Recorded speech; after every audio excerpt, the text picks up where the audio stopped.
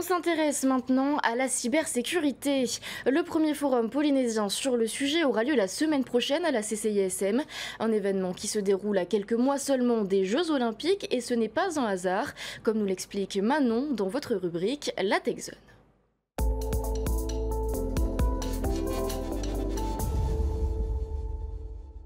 Bonsoir Emma et bonsoir à tous. Tous les regards seront bientôt tournés vers le Fénois à l'occasion des épreuves de surf des Jeux olympiques, les regards des hackers y compris. Le pays et l'État ont donc décidé de sensibiliser. Pour cela, le premier forum de la cybersécurité, gratuit et ouvert à tous, est organisé du 28 février au 1er mars. Euh, en Polynésie française, on est arrivé à, la conclusion euh, avec Eugène de la DGEN, c'est que, que, le niveau de cybersécurité n'est pas forcément euh, plus élevé, principalement un peu par manque de conscience de la menace. Et à partir du moment où on est connecté, on, est vulnérable. Alors les menaces pour les particuliers auxquelles on peut faire face, c'est l'usurpation d'identité, de la récupération de données personnelles en particulier, j'ai envie de dire, euh, les plus sensibles, euh, souvent pour nous, les particuliers, sont les données bancaires. Depuis beaucoup d'années, euh, on ne s'est pas occupé de l'Internet ou de la sécurité des systèmes d'information au niveau des entreprises du pays, public comme privé. Aujourd'hui arrivent les JO, la menace est beaucoup plus grande. la question n'est plus de savoir si on risque de se faire pirater, c'est quand. L'événement se découpera en trois journées, la première consacrée aux professionnels, la seconde au grand public et la dernière aux scolaires.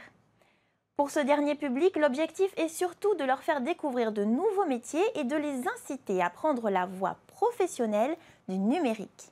On aura après deux, types de, présentations pour le volet euh, des scolaires. D'une part, des professionnels de la cybersécurité qui viendront présenter leur métier. Et puis à côté de ça, on aura un deuxième volet, ce sont les, établissements d'enseignement euh, locaux qui viendront présenter euh, leur, leur formation.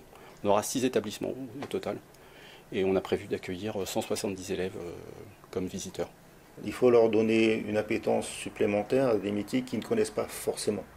Et puis il y a besoin de tous les niveaux de, sur, la, partie numérique, hein, que ce soit des ouvriers spécialisés dont on a besoin, mais aussi des ingénieurs, des architectes, etc. etc. Donc tout c'est tout ça qu'il faut construire.